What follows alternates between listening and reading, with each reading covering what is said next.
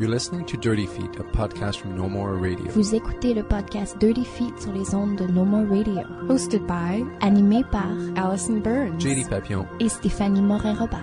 Stay tuned. we're gonna move you.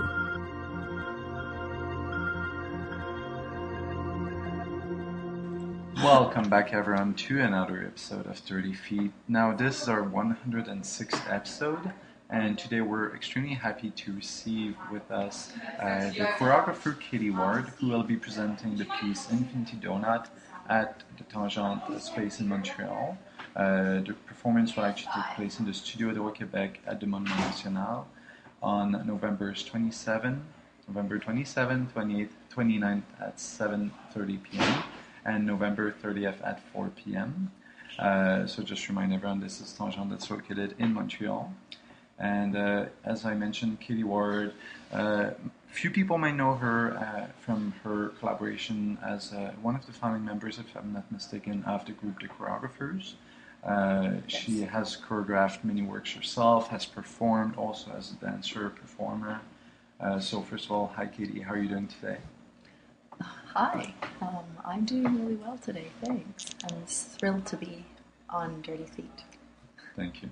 Uh, so you mentioned, well, I mentioned very briefly uh, a bit of your parcours you've done. Could you flesh out everything? Well, not everything, but a bunch of what I've missed, please. Sure. Well, I moved to Montreal uh, just being feeling very excited about uh, living in what I think of as the dance mecca. Uh, and um, yeah, so I've been here for quite a while. Uh, I arrived and I started working on solos for myself. And then at some point, I met uh, Elizabeth Langley, who uh, we, en- we ended up dancing together for Pierre Paul Savoie. We were doing a piece called Strata, and she played um, character, and I played the younger version of her. Anyway, so it, during uh, while we were working together, we toured a bunch and became close friends. And she said, "Why don't you go back to Concordia and study choreography?" Because I hadn't, and uh, so I did. And I, I jumped into the third year of the program, and I met some of my really important collaborators, uh, Ben Reed and Ali Blakely, and um, I learned so much in that third year of the contemporary dance program at Concordia. And so I kind of felt like I was really given some skills that I didn't have before. And um, yeah, and really inspired. And so uh, when I left Concordia, uh, Ben, Ali, and I started working on dance pieces together, and we had a really great time and we just I think yeah for a while we were really obsessed with wolves. Uh, there was ba- like there were I think there was like five bands with wolf in the title like Wolf Parade, AIDS Wolf. I can't remember the other names right now. Can you remember? Do you remember? Uh, out of the Montreal bands, no, but there was Wolf Mother for a while. Yeah, so- Wolf Mother. Yeah, yeah. But there was another one in Montreal which had Wolf in the name, and I totally forgot what it was. I know. Well, we were obsessed also with wolves and rock bands. and so we made um, a piece together called Collapsible Uprisings, and that was not about wolves. That was just uh, kind of a physical study of falling and getting up for about 20 minutes. Um, and Which must not be taxing on the body. no, it's not. No, it's totally easy. yeah, I think I, in that piece, I kind of learned. Uh, I, yeah, I, we started developing the vocabulary that we created, the three of us together, which was pushing the body to the very limit, so that you, or to the edges of balance, so that there was a, this shaky thing that would always happen, and you'd see the body kind of buckle and collapse. So that just became like the basis for all the movement that we did. Um, yeah, and then so the after collapsible uprisings, which I created under at, when I was still at Concordia. Then we made a piece together called "The Thrills: colon Wilderness Retreat," and uh, so that was about a rock band. Um, and it was uh, like Ben and Ali were in a rock band, and I was also in the band, but they kicked me out of the band. And I had a fur jacket, and there was a wolf tableau kind of at the beginning, and uh, it was really aggressive movement, and uh, uh, it was really fun to do. And we created that over a year, just uh, twice a week in the studio uh, from 6 until 8 p.m. In case you wanted the details. With a little fruit break. Because I that- didn't have any money to pay the dancers, so I just fed them fruit. Was that during your time at Concordia still, or was that afterwards? That was after. Afterward, okay. Yeah, so then I made a piece called Hawks and Doves, and it was uh, Ben and Ali and Peter Trosztmer in that one. And so then I think that I kind of redid the thrills, but with another person. So then this time it was Ben and Ali and Peter, and Peter was sort of kicked out of the rock band. Really obsessed with this kind of uh, I think I was obsessed with power dynamics, Mhm. but just through movement, and uh, and uh, yeah, I was trying to figure out how to uh, kind of choreograph um, a story, but just in a loose way, just so that you could kind of see, oh, these people are together, or this person's not keeping up, um, not super literal, but at the same time, a kind of hints of um, relationships. Okay. Yeah. Um, so that one was fun, and that um, that title came from a Neil Young album called Hawks and Doves. Um, I was remember being really freaked out about, like, wondering if it was too political or not. When was that? Which year again? uh, I forget. Maybe 2007. Yeah, so a good time Something to, like you know, make a political piece about Hawks with Bush in, this, in the United States and everything. It could be read as, as being political, I guess, with just a title like that. Yeah. Well, I think I was just interested in aggressive and non-aggressive behaviors. Mhm. Yeah. Yeah, around the same time, I was dancing a lot for different people, and I found myself often in duet with a dancer in Montreal called Dean Makarenko. And um, yeah, I really, that was a, an exciting time for me as a dancer. I really, yeah, I think I just learned a lot about just being free and trusting my instinct on stage and just allowing any kind of impulse, uh, anything that's happening in the moment to affect what I was doing. Uh, and yeah, just trusting that any kind of way that I could be, uh, the less the less self conscious would be resonant. Um, So I did, yeah, I was doing a lot of dancing at the same time, and I started a collective called Chien Perdu. Well, I don't know if it's a collective, but it was a, an improv group called Chien Perdu with Aaron Flynn and Dean Makarenko, and we did some performances.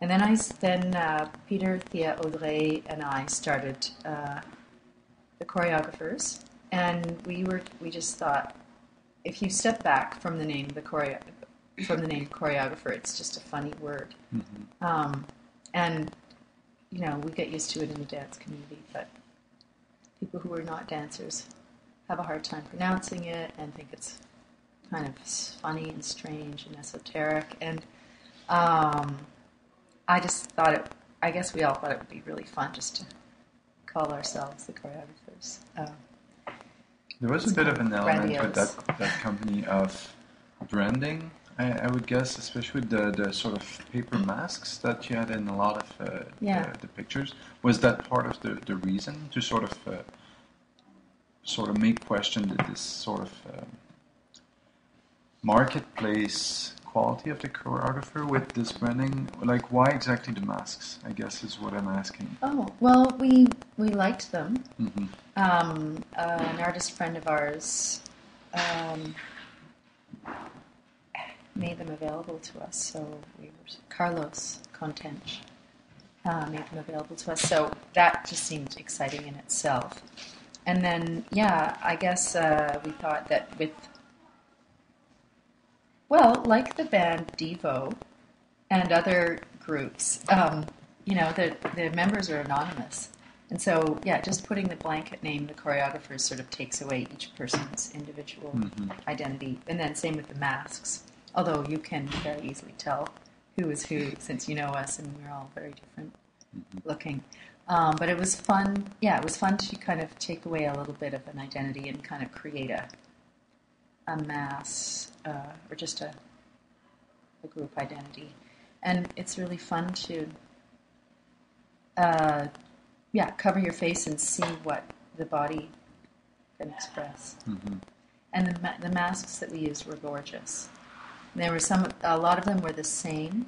They're, they're actually all masks of Carlos's face. But, uh, so they're all um, a stencil that you spray paint um, and you get the, the same outline. But then sometime, on some of the masks, he did, he added a lot of decoration on so that it was sort of variations on a theme. Mhm. Yeah, so that was a great experience. Um, And after that, you went back to choreographing. Also works uh, more on your own, or were you still collaborating with Ali and Ben at that time? Uh, yeah, I, I was still collaborating. I just the work with the choreographers and my own work just was constantly. I was doing both at the same Mhm. time.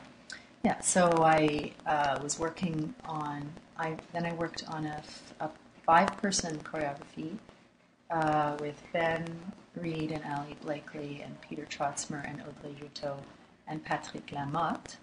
And Thea Patterson helped uh, as a dramaturge. And so that was super exciting. That piece is called Rock Steady. And that um, still really inspired by rock music. Um, actually, Rock Steady has many meanings. Um, I later found out it's a, do you know? It's a break Isn't it from, uh, New York. It, it was a crew. breakdance, but isn't it also musical type Yes, in it is. Jamaica or in Yes, it Caribbean? is. Yeah, okay. Yeah, yeah. So someone to- said the name one day. It's the precursor to ska. Mhm. Yeah. Yeah, and uh, I just thought, you know, it's an, an expression that we use to mean solid or reliable, and then I was like, oh, rocksteady. It's such a great sounding name. Um, and I was kind of starting to think more about consistencies and less about rock bands. But sorry, I'm laughing. It's- No, it's good. It's like a sort of natural, uh, organic turn through uh, multi type of meaning. Yeah, yeah. So, yeah, and I think I was less interested in narrative all of a sudden. Um, yeah, and more into textures and finding, le- allowing for openness so that all, you know, fair, the viewers can really decide for themselves. You know, that we each actually come to a show with a different hmm background and a different experience that day and different interests and um, we will all interpret what we see differently and uh, that's a really positive thing like Mhm. just can can we allow ourselves to not prescribe a meaning for our audiences but just provide something clear so that people can make their own Reading, understanding. Yeah. And uh, so in that piece that uh, I've been r- kind of structuring things in tableaus and putting them together, but that piece there were many tableaus and they were just like contrast and shift from one to the next really quickly. And so that some people found that really annoying and other people found it really exciting. So I think that was a positive thing. Uh, yeah. But you mentioned that you moved away from the narrative aspect, but did you stay as. Because, I mean, uh, from what you mentioned, it wasn't so much the narrative aspect that you were interested in, but more the relationships aspect. Uh, Did you did that stay present in, in that work? Good point. I was just thinking about that today. Um, yeah, I think that we had really kind of created a, or found together as a group in our collaborations, um, a kind of natural body language and and yeah, kind of supporting uh, relationships of different kinds and kind of a. I think part of my feeling was if we spend a lot of time together, you would feel the history of the relationships. So part of the choreography is just, just taking time together. Mhm. And so since we did that over uh, about 10 years and slowly accumulate more and more collaborators, I feel like um, that was really kind of an, a t- like in, you couldn't, it's not something that you can see and touch, but it's something very tangible. Mhm. Yeah, and I think that's still really important to me. Uh, kind of a, a type of connection Mhm. Uh, between people. Is this something that you've ever wondered how you could create a simulacra of that type of connection with a group of people that have not had 10 years to grow into it? Yeah, uh, I mean, I, I sometimes I question that process, period, and then other times I, um, well, so one of my techniques is that, or thing ways of dealing with that is to just always, you know, have a group and then bring one person into the group. So there's Mhm. a kind of a group feeling, but there's a new element. So that slowly can kind of get created hmm over time. But I think that actually in my new work, Infinity Doughnut, I'm trying to create a feeling of togetherness uh, between the, everyone, all the participants in the room. So, including the dancers and uh, the, their performers, interpreters, collaborators, um, but including them and the audience and the technicians and anyone else who's present. And I think it's possible. Uh, I think when you think about the very confusing topic of energy Mhm. and vibe, and the very hard to manage uh, energies Mhm. in the room, I think that you can actually be sensitive and create a chemistry. Because I think it's a kind of chemistry that I'm talking about. I think you can be sensitive and create a chemistry between people quickly. Also, of course, it'll be different, but I think there, I think that you can, if there's a kind of a unself consciousness and a genuineness and a openness, you can create A willingness that. basically to find that, that connection with others.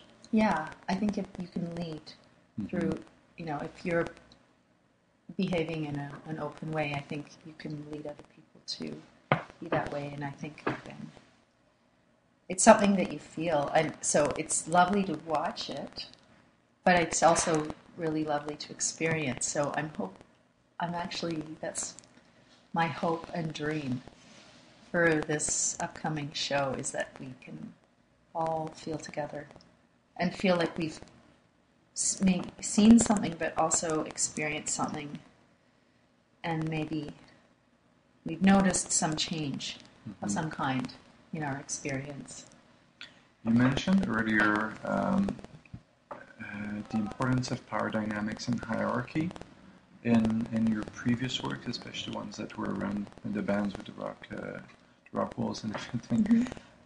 Is this something that you feel is a new direction for those questions of power dynamics and hierarchy? Because those are ever present in the relationship between choreographer, performers, collaborators, and audience. Is this something that in that uh, through Infinity Doughnut you feel that you'll revisit, but maybe in a less confrontational way, but in a in a more those power dynamics can uh, can be a bit more subdued, maybe. Yeah, I mean, I think that I'm uncomfortable with hierarchy, and uh, so probably with some of those earlier pieces, I was trying to kind of experience it and recreate it to Mhm. deal with it. And uh, I think that Infinity Doughnut, in Infinity Doughnut, I'm trying to find a different way to like level hmm level the relationships, um, definitely. And so we'll see. I mean, but I, but that's it's how we worked in the studio. I mean, I feel in some ways like just the organizer hmm And so, I and also I have, you know, kind of inserted my interests into the working space. But beyond that, uh, I feel like there's a everyone there's a space for everyone to really um, say what they think and and lead or suggest, make suggestions and try things out. And it's not a it's not a pure uh, collaboration because I, in the end, do make choices about um, what I feel I like. hmm But uh, I think there's a much more kind of level way of working, and uh, it feels good to me. Do you feel that there is a place for an authorial voice uh, in dance because it's such a collaborative process by nature? Uh, because you use people's bodies and use people's minds quite often. Because movement gets so often uh, the creation of more, you know, the, the evolution of the movement in a piece comes from a lot of people quite often, especially in the Montreal scene. Do you feel that this idea of an author, quote unquote, uh, has any resemblance of reality in a scene such as ours in Montreal, or do you feel that this is a bit of a fallacy that does not really apply for dance in a way or to movement performances? Um, well, I think there's many authors in a work, and uh, and that's a good thing. Mhm. And um, I think it's important to make sure that everyone is credited for the work that they do. Um, I think it really depends on the choreographer. Uh, some choreographers are, I think, very specific and rigorous. And it's kind of a, you know, there's a sort of a godlike hierarchy. Like everyone is trying to recreate the image of the choreographer. So that's, I think that's still exists Mhm. definitely in Montreal. And but there's just a range of ways of doing things. Then there's also um, people trying to jam on an idea and bring the way they do uh, the, their perspective, their movement perspectives into uh, research. Mhm. And I'm sure there's many kind of uh, uh, ways of approaching that in between those two opposites, and, and maybe other other ways altogether that I don't know about. But um, I think it's lovely that we have uh, this huge range of methods and styles Mhm. and relationships. And you mentioned um, when it comes to relationships that you will be creating with the audience, and you mentioned that you're putting everyone sort of on the same level. How how are you doing this through the, the type of space that will be used for the performance? Because I mean, again, there is a, a hierarchical sort of presentation to the traditional performance space with the stands, uh, you know, with quite often a bit of a rig and the people in the front with the lights directed at them. Is this something that you decided, let's change the traditional space in here so that we can move towards that sort of um, anti-hierarchical uh, presentation? Is this something that you're looking to change in this piece through the physical space? I don't know if I thought about it as removing hierarchy, um, but I did. I thought of it. Uh, yeah, so we have no risers. There Mhm. are no seats, and the, the audience will sit around in the space. Um, at Tangente, though, there is a mezzanine level, Mhm. and so people with mobility issues uh, are welcome to sit on the mezzanine. So there will actually be two levels of viewing. so kind of, you know, viewers up in the sky, and then people down. um, but I think the reason why, uh, like God and the mortals, just kidding. Um, Let's go deep in there. yeah, no, the, I think, um, okay, uh, so I was really excited by um, the possibility of uh, each of you viewer having their own distinct experience. So, um, with with the dancers, with the viewers and the dancers all mixed together on the floor, uh, everyone, you know, has a different spatial relationship to the action. Um, there's some I don't want to give away too much, but the you know the audience comes in at a certain point and the movement happens around. So everyone has a really distinct and unique experience for part of the uh, performance. And uh, I was I'm, I guess I'm kind of interested in how it's like well where is the location of the performance? Is it outside? Uh, something that you can see, or is it something that you're thinking about. And so, is it is a performance in your mind, in your thoughts, um, because of what might be happening? You mentioned the, um, the in, in the creative process as is described on your website, on the, the Tangente website, there is something that I find super interesting here, um, which says we celebrate all tastes, preferences, and ideas. And this uh, coming from the perspective of a choreographer or a performance facilitator or something like that you might call it in this case because of the collaborative collaborative um, aspect of it. How would you stay true to this idea of celebrating all tastes, preferences, ideas, but still making choices, making edits in the piece? Because this is what a piece is basically. It's a, it's a series of edits. How do you sort of juggle that? Because that that see that's making my head go all like. Yeah, Um, me too. Uh, yeah, that was completely overwhelming, and of course, it's impossible mhm. to do. Um, uh, well, at some point, I decided the piece would be called Infinity Doughnut, and then I realized, well, so the word infinity's in there, so actually, we're treating infinity. At first, I hadn't realized it, so.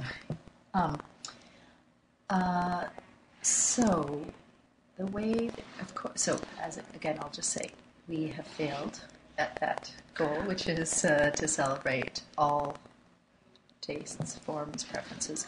But it, um, uh, but we've tried to stay c- create as many openings as possible.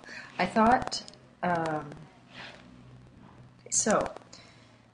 Um, we've created various scores so they're kind of like methods or techniques, modes of movement, modes of expression. So the piece moves from one kind of score to another and to another, and so they each have a openings and ways to um, allow for different forms, as many forms as um, the dancers can think of to emerge. And so it's very stimulating to have an audience there because the dancers are visually stimulated by the audience. And so this is part of the stimulus that triggers new forms to come out. So they're kind of, it's sort of like we've created different algorithms, um, different kind of formulas to create movement. And so we've jump from one to another. So the movement will probably be different each time. Um, and then, uh, but the way, the kind of systems for de- developing the movement and having it emerge are the same. Um, and they're quite specific. And so that was really what took the two years of research, is to figure out how to do that. And that, so half the piece is is made of, is scored, and then the other half is I don't know if it's half and half, but the other part is tightly choreographed. And so there's a slow transition from the scores to the more tightly choreographed, but I'm not sure if you would be able to tell that it was choreographed. Um, so, I mean, like, you know, set. We know that there's a very specific movement that happens each time.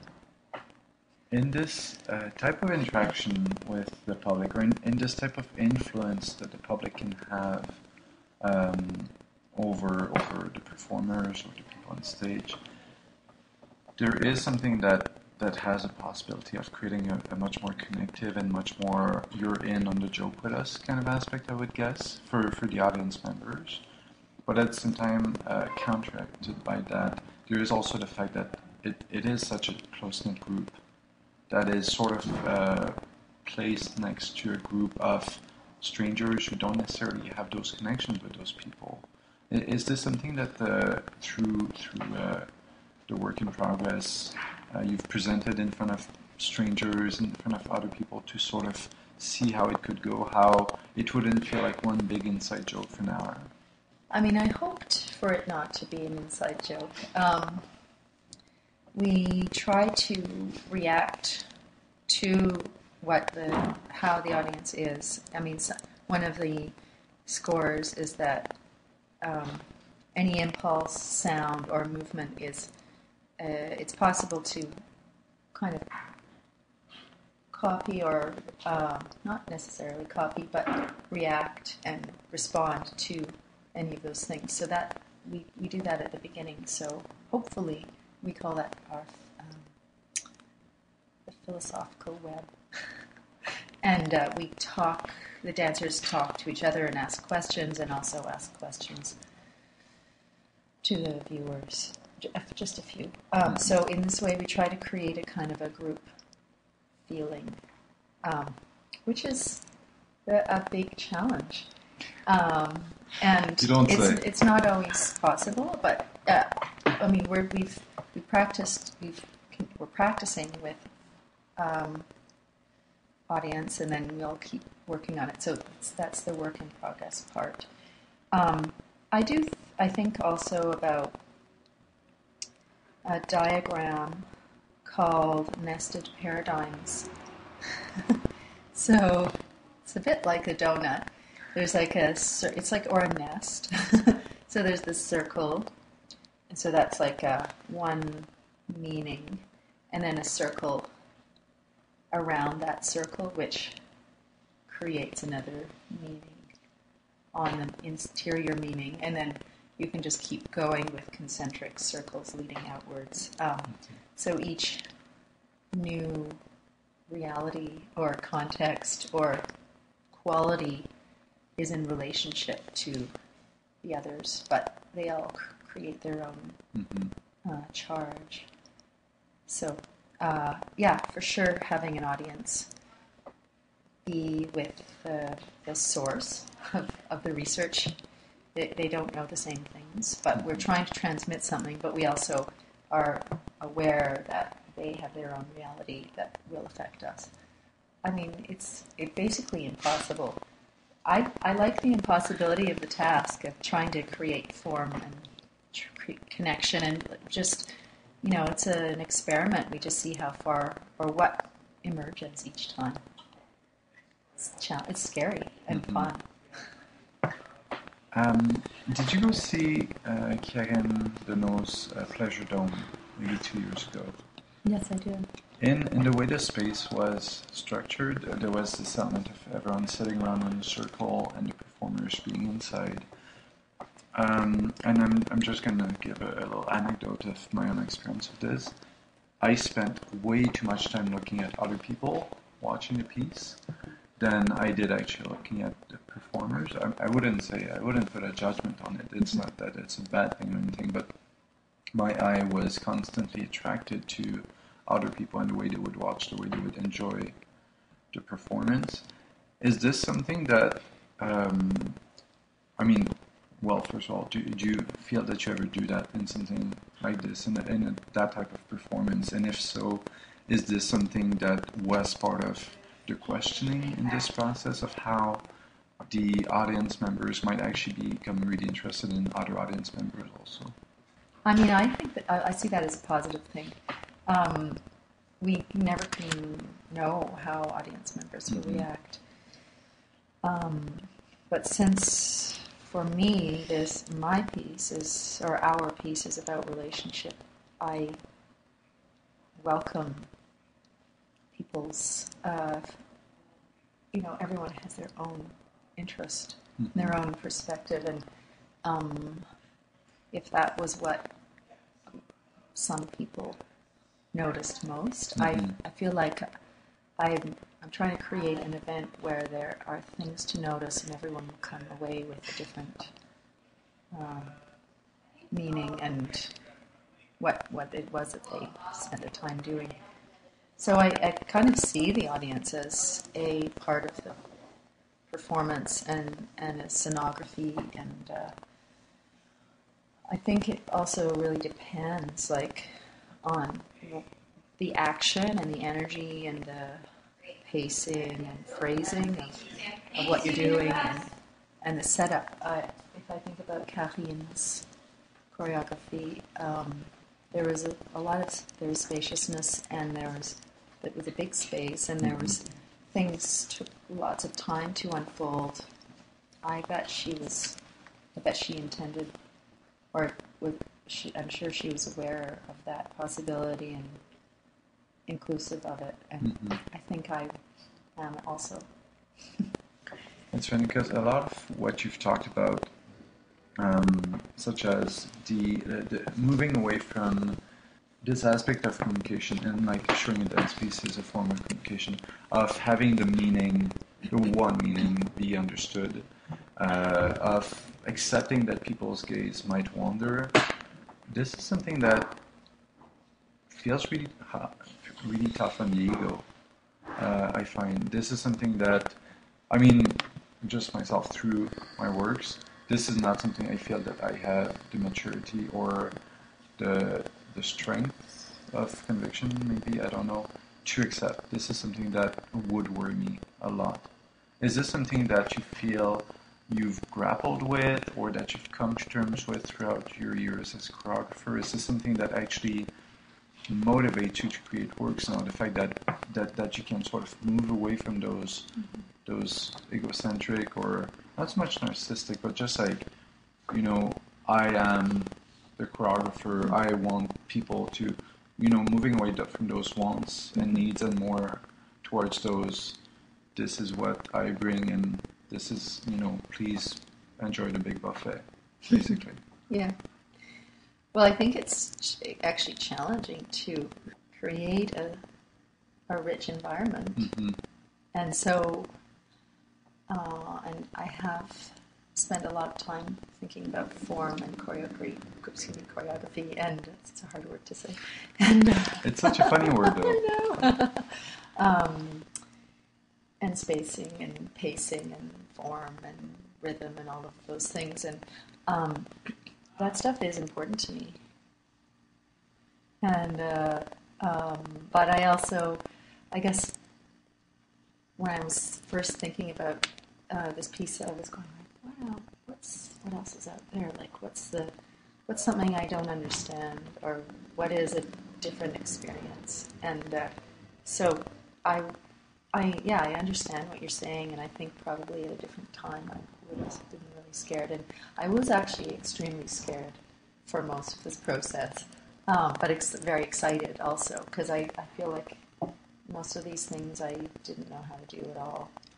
Um, but that's the fun challenge uh, to being a creative person. I think Mhm. is to, um, to just see uh, well, what where are you interested in going? And, You mentioned fear, that, but also the fun of it. And in uh, one of the interesting things also you mentioned in your uh, in the creative process description on the Tangente website is that the group laughed a lot. And this is this is not something we read often. I mean, sometimes, but like that, that idea of laughter, that idea, which of course suits a, a process such as this, based on connectivity, very well. But this idea of laughing, we still don't hear it. Why was it important for you for this to be written there for audience members to know that your stance as a choreographer for this piece was that laughter was a big part of it? well, I mean, it's a. I, well, I, I was talking about the creative process. Um, laughter is an important part of the process. Uh, I also, yeah, it's we can all get really serious. I sometimes I was too serious. Um, uh, I've read a lot of literature that talks about laughter. I mean, you hear laughter is the best medicine, blah, blah, blah. Um, it's super cheesy, but it's true. Um, uh, but, you know, laughter can actually get your creative brainwaves flowing. Um, and it relaxes people and it makes, I think it kind of creates a situation for people to feel like they're more themselves. It also relaxes the diaphragm. so Which for dancers is great. Exactly, helps release the back. Um, yeah, maybe it was important for me to explain that we're serious and also not serious. Um, it's also part of the vocabulary of the piece. So I was describing us developing vocabulary. A little nugget of knowledge about what Yeah. people will, will actually see. Yeah, but I, I tried. Um, I learned about um, a few techniques for, you know, being more creative. Um, and so one of them was uh, actually some of the both two of them are in the work um, as things that hopefully the audience will experience. But uh, also we did um, like self-help questions every day, or for part of the process where we would just go in a circle and talk about how we were doing. And uh, yeah, I feel like it was important just to kind of be relaxed and be present with each other. And when we weren't that way, then uh, we were very productive and creative in short amounts of time. So I think the laughter is part of that. Is there anything left that should be said about the piece? I really acknowledge all of my collaborators, like throughout my whole life, as being really important to uh, influencing me and, and bringing me to where I am today. And uh, yeah, I just feel so grateful for all of the connections I've had with people.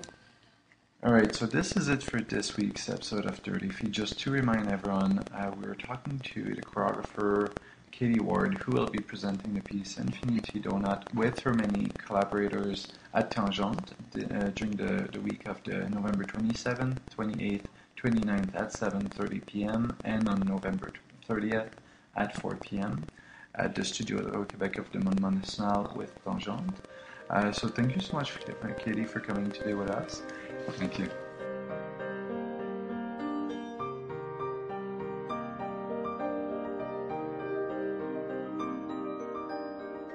Dirty Feet was previously recorded at the Montreal Improv Theatre and is currently recorded out of Mainline Theatre. Thanks, dudes. Dirty Feet est produit et animé par Produced and hosted by Allison Burns. JD Papillon. et Stéphanie Morin-Robert. You can find out more about our show at nomoreradio.com, follow us on Twitter at Dirty Dirty Feet, and find us on Facebook at Dirty Feet Podcast. Vous pouvez écouter tous nos épisodes sur notre site web ou vous pouvez vous abonner également sur iTunes à notre podcast. Listen to past episodes on website or subscribe to the podcast on iTunes. While you're there, be sure to give us a rating and or leave a comment to help us spread the word. Tune in next week for a whole new show.